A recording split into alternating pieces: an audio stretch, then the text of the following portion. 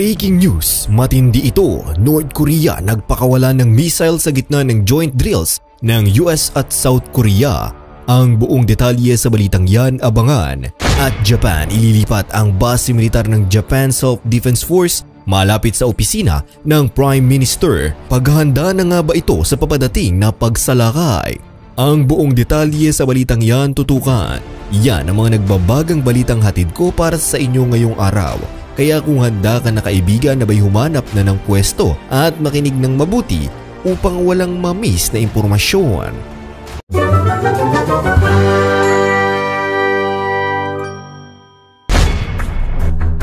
Nagpaputok ang North Korea ng short-range ballistic missile patungo sa dagat sa silangang baybayin ng Korean Peninsula noong linggo.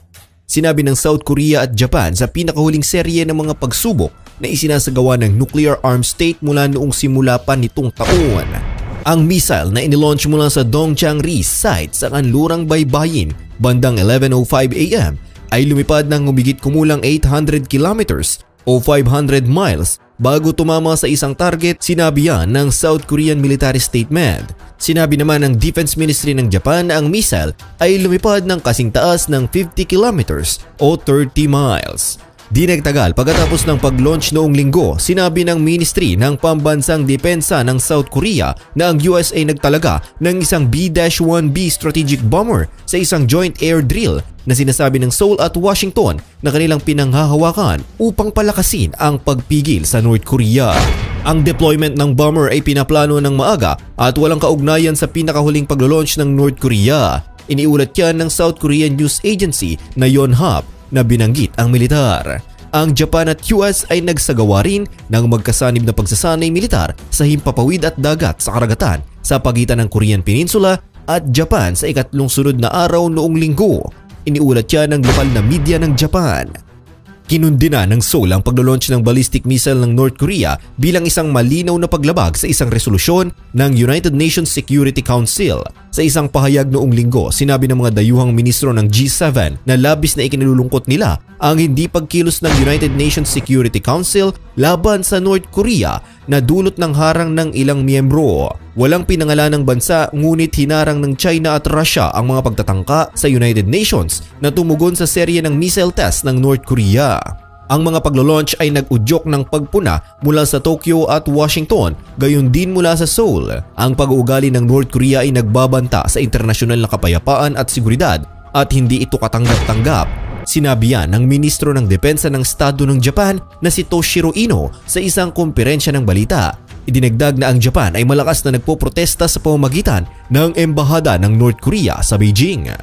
Sinabi ng US Indo-Pacific Command na ang pag-launch noong linggo ay hindi naman nagdulot ng agarang banta sa mga tauhan ng US o mga kaalyado nito. Ngunit binibigyang diin na ang pag-launch ng missile ang destabilizing na epekto ng labag sa batas na armas ng mass destruction at ballistic missile program ng Pyongyang. Sinabi nito sa isang pahayag. Ang North noong Webes ay nagpaputok ng pinaghihinalaang Intercontinental Ballistic Missile o ICBM sa dagat sa pagitan ng Korean Peninsula at Japan ilang oras bago lumipad ang presidente ng South Korea sa Tokyo para sa isang summit na tumatalakay sa mga paraan upang kontrahin ang North Korea.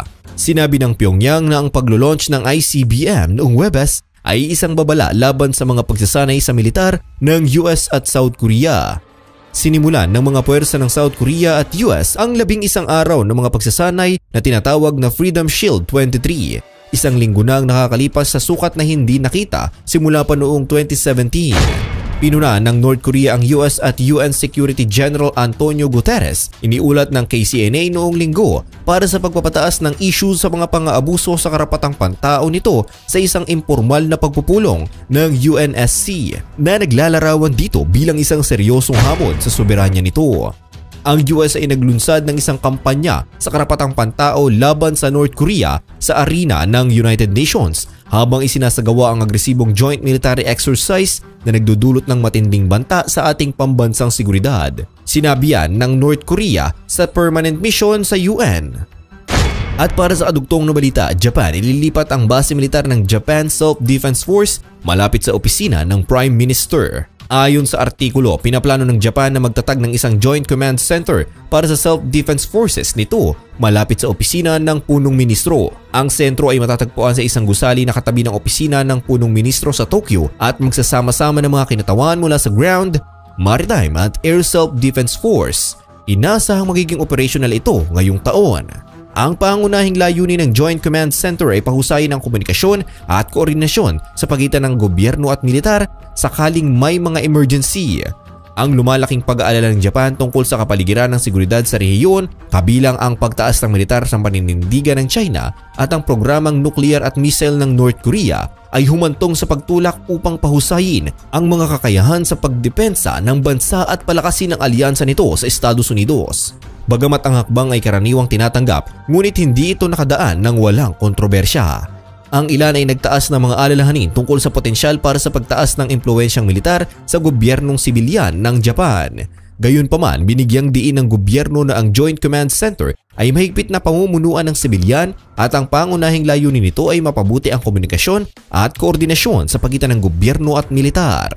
Ang pagtatatag ng Joint Command Center ay bahagi ng mas malawak na pag-isikap ng gobyerno ng Japan na pahusayin ang mga kakayahan nito sa depensa. Patuloy na pinapataas ng Japan ang paggasta nito sa depensa at pagpapalawak ng mga kakayahan nitong militar kabilang ang pagkuha ng mga bagong fighter jets at pagbuo ng isang bagong sistema ng depensa sa missile. Sinisikap din itong palakasin ang alyansa nito sa Estados Unidos na nanatiling pinakamalagang partner sa seguridad ng Japan. Ang artikulo ay nagsasaad na ang mga hakbang ng Japan upang pahusayin ang mga kakayahan sa depensa nito ay natugunan ng magkakaibang mga reaksyon mula sa mga kapitbahay nito, partikular ang China at South Korea na may mga makasaysayang hinaing sa Japan. Sinisikap ng Japan na pawiin ang mga alalahanin na ito sa pamamagitan ng pagbibigay din sa likas na pagdepensa ng pagbuo ng militar nito at ang pangako nito sa mapayapang relasyon sa mga kapitbahay nito. Bilang konklusyon, ang plano ng Japan na magtatag ng isang Joint Command Center para sa self-defense forces nito malapit sa opisina ng Prime Minister ay sumasalamin sa lumalaking pag-aalala nito tungkol sa kapaligiran ng seguridad sa rehiyon at ang pagnanais nitong pahusahin ang mga kakayahan sa depensa Bagamat ang hakbang ay karaniwang tinatanggap, hindi ito nakadaan ng walang kontrobersiya at kakailanganin ng Japan na balansihin ang modernisasyon ng militar nito sa mga alalahanin ng mga kapitbahay na bansa. Ano ang palagay mo sa mga balitang ito kaibigan? Ibigay ang iyong opinion sa ibaba. Hanggang dito na lang po muna ang mga balitang hatid ko para sa inyo ngayong araw. Palike kaibigan kung nagustuhan mo ang video na ito. Mag-subscribe na kung di ka pa nakasubscribe at pakiclick na din ang bell button para wala kang mamiss na upload. Salamat po muli sa inyong palaging panonood hanggang sa muli. Peace.